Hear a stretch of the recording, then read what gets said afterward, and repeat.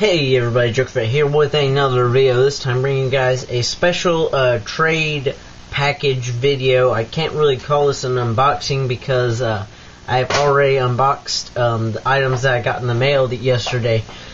Uh, yeah, I tried recording me actually unboxing the items, but it did not work out so well. Uh, I accidentally knocked over the camcorder in the middle of the video, which like threw it out of focus, so half the video was blurry.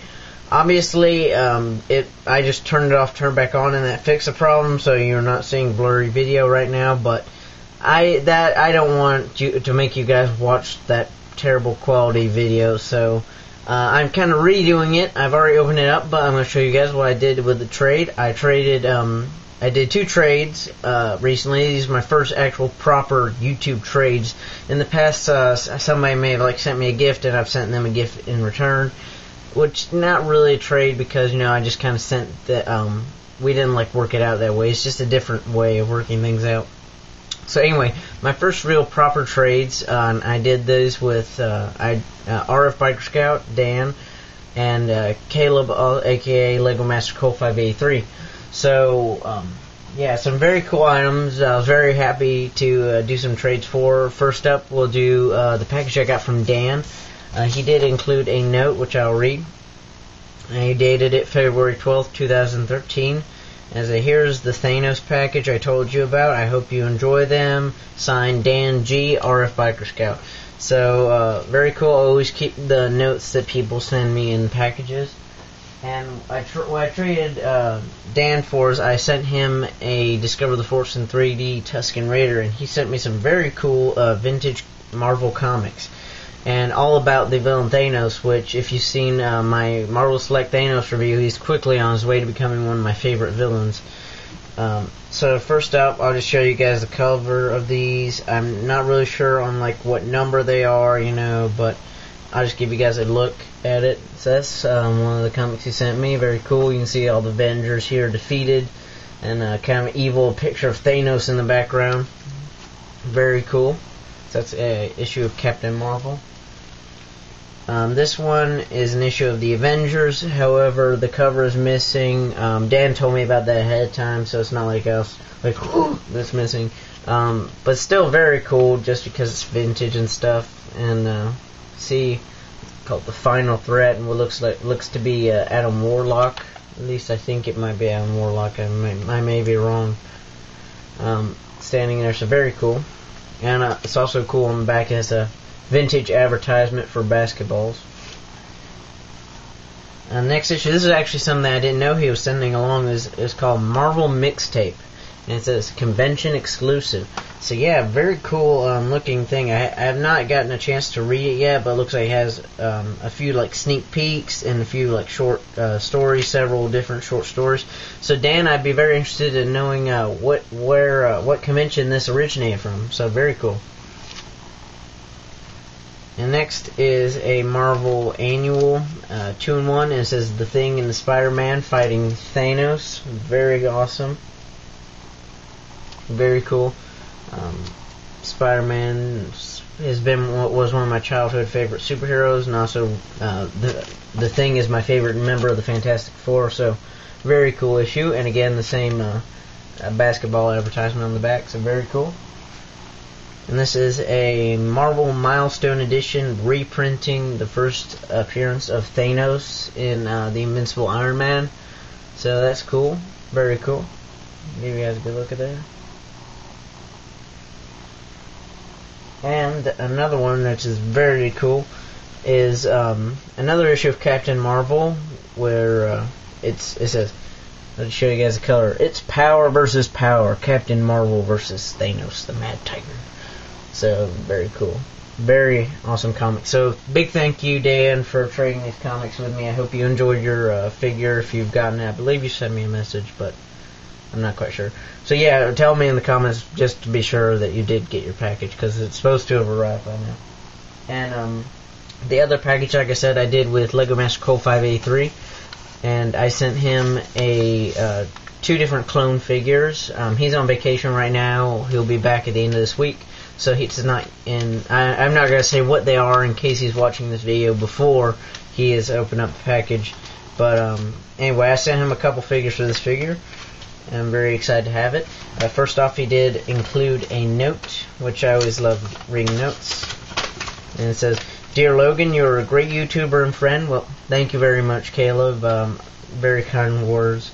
And I would like to thank you for trading with me. So until next time, thanks. May the force be with you. Sincerely, I'm not going to say his full name, Caleb, aka Lego Master Cole 583. And I'll cover up cover up his uh, his name there. You can see a picture of. Let me just do it like that. You see, picture of Boba Fett. Very awesome. I love Mandalorians. They're just great in my book. I just love them.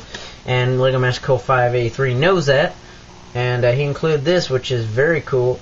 I'll show you guys a look at that, which, from what I can tell, is like um, some kind of Mandalorian cosplaying club. And this is actually a fan created character. You can see it's like I don't even know how you smell you pronounce that. It's Nick, Nika, maybe Nika or Nika. I don't know. But a female Mandalorian warrior, of course, got the uh, skull in the corner there, and actually has a whole bio read up on it, which I'll uh, read quickly. So, um, real name, this actually gives the real name of the cosplayer who uh, created this character, and the real name Rebecca Pettif, Pet, Pettifer, I'm not sure you pronounce the name. I'm not, I'm not even going to try to pronounce uh, where she's located. Personal info, uh, Rebecca is originally from Kennesaw, Georgia. She is married to her best friend Ryan and is a proud Navy wife. Rebecca has a master's degree in education and taught 7th grade mathematics. So that would be a very cool teacher to have, in my opinion. And a little bit of info about the character uh, herself. And it says Nika, that's what I'm going to go with, was born on Nar Shaddaa. She does not remember her biological parents and was raised by her adoptive father, a Mandalorian warrior who took her in after watching her fearlessly attack the swoop game that left her parents in a pool of blood. Despite having very little hearing, Nika uses her other sense to make her a merciless hunter. Her father further honed these skills and made her a true Mandalorian worthy of her armor. Nika is known to operate in the inner and mid-rim and is suspected of assassinating prominent planetary leaders in at least eight systems, including an Imperial Moff. Very, very cool. I will definitely have to go check out this website in case you guys are interested in checking it out. It's called MandalorianMercs.com. So I will definitely have to go check out that website. And it's very cool, like having like a trading card of like a fan created character. So that is a very cool little bonus item. Um, and finally, get on to the main thing that I traded him uh, for is this figure, the VOTC Ben Kenobi. Finally, having a good Ben Kenobi figure. It has been ages. The only other Ben Kenobi I have is a really bad Power of the Force 2 um, very extremely limited articulation figure from one of their cinema scenes with his face facing off with Vader. Very poorly articulated uh, figure. It looks nice, but it's terrible, terribly articulated. So very cool to actually have a um, a Ben Kenobi figure and uh, on card too.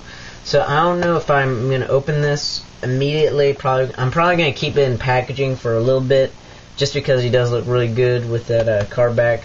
And I think it's funny that on and this is not like a Hasbro error, like on the vintage Kenner car back, he has a, a yellow lightsaber, which is kind of funny.